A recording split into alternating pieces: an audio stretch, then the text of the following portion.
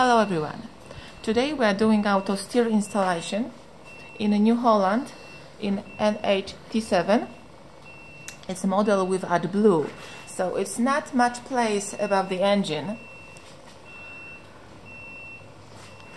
And because of that, because of that, we are removing the wheel and most uh, hydraulic installation is is here after removing the wheel.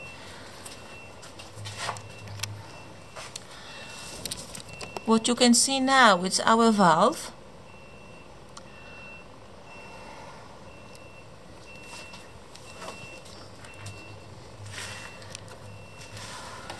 This hose is the only original hose. It's a LS hose and we connect it with our hose. Uh, it's LSO hose which connects with our valve uh, in LSO port in our valve.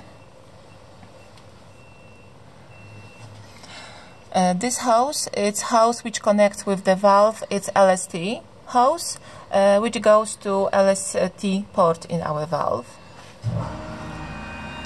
These two hoses, uh, it's power supply hoses, power supply, orbitrol power supply, and uh, power supply of uh, the valve.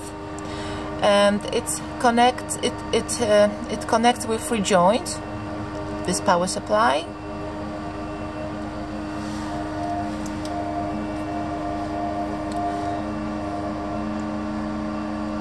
I think you are able to see uh, there is a return a return hose